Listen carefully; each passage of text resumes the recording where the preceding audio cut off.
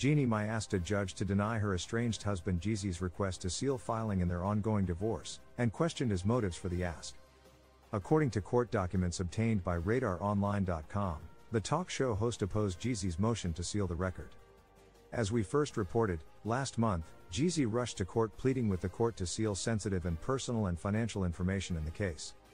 In addition, he wanted all filings related to their child to be private. Jeezy claimed the split had turned contentious. He said the divorce had been covered extensively by the media.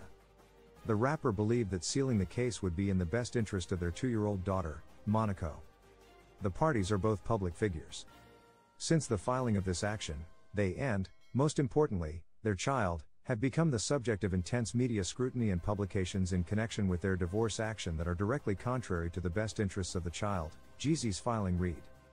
In addition, this litigation, tragically, is becoming increasingly more contentious and, as a result, it is inevitable that sensitive personal and financial information, and information related to the child, will necessarily be discussed and disclosed as the parties explore the issues incident to their divorce, the motion continued.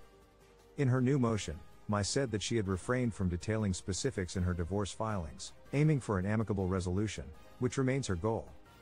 She said, Since the commencement of these proceedings, there has indeed been increased media attention, which was a foreseeable consequence given the party's celebrity status. Mai said, the timing of Jeezy's motion to seal, six months into the proceedings, raises questions regarding his motivations for trying to limit the public's access to the case. Nonetheless, Mai contends that sealing the court records at this time is unnecessary and unwarranted. Her lawyer argued, there is a presumption that the public has a right to access the court to ensure that proceedings are conducted fairly and impartially and that the judicial process is open and accountable. Mai asked that the motion to seal be denied.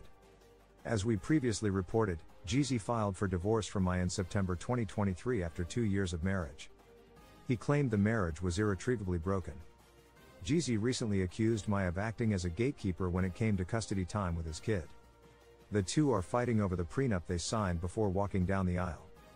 Mai argued she didn't have enough time to review it. Jeezy demanded the agreement be enforced in the divorce.